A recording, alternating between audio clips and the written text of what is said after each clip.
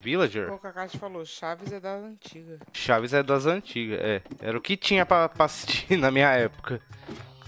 Era Chaves, Pica-Pau, Que isso, meu? Palhaço Bozo. A vovó Mafalda. Lembra ali? Ou já não era do seu tempo o programa da vovó Mafalda? Não. É.